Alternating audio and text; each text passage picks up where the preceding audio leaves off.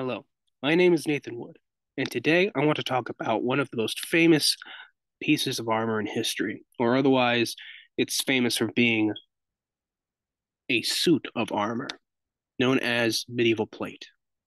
The European plate armor that we know today arose after chainmail. Chainmail was made out of iron rings held together by rivets, so the armor could follow the body's contours and allow the movement to be accessible.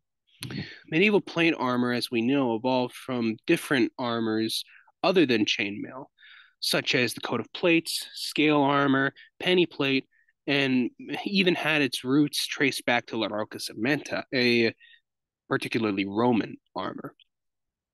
Plate armor became prevalent by the second quarter of the 14th century as knights started using steel plate over chainmail, becoming more popular as the time went on. Full plates then began to extend over the whole of the body and would gradually take shape as the armor we know today. By the 15th century, the typical knight was covered head to toe in plate armor that closely followed the contours of the body, making him nearly invulnerable to everything except heat exhaustion, along with really heavy arrows and heavy blunt weapons.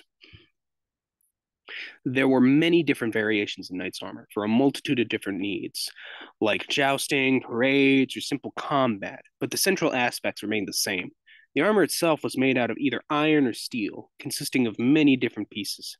From bottom to top, plates extended up and encased the lower legs and the top of the foot.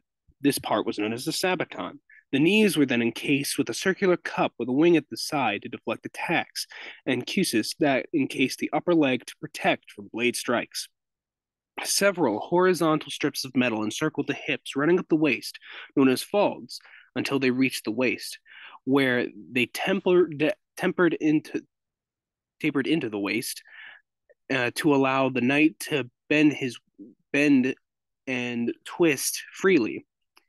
The breastplate that was also tapered into the waist then covered the majority of the knight's vital organs, along with the backplate that was connected to the breastplate. The hands were protected by gauntlets, which could have had small plates along the fingers for better articulation, or they could have had been almost fully encased at the top of the hand for better protection, almost like a steel mitten. The arms were protected similar to the legs and were encased in steel plates, the lower counter for the arm, for the forearm and the upper counter for the upper arm, respectively. They had a circular piece to protect the elbow, also known as simply a couter, along with a wing known as a spaulder at the shoulder. The whole arm ensemble, stretched from the forearm to the upper arm, was known as a vambrace. A circular disc, or a besagew, protected the armpit and the exposed area between the arm and the chest plates. An alternative was the pauldron, which wrapped around the entire shoulder. Helmets varied between the European nations and the knights themselves, but some of the most common were among great helm, the bassinet, and the closed helm, with the neck then protected by a steel gorget, or a neck guard, as we would say. A chainmail shirt or even padded clothing that was worn under the armor with chainmail segments guarding the exposed joints where steel plates could not be placed, otherwise known as an arming doublet, would be worn by the knights. Knights often wore a surcoat or jupon over the top of the armor. All in all, the armor was held together by laces, straps, and hinges. With the help of a squire or two, could be put on in 10 minutes. The full armor was about 45 to 55 pounds on average, but was distributed over the entire body so the knight could maneuver with some freedom.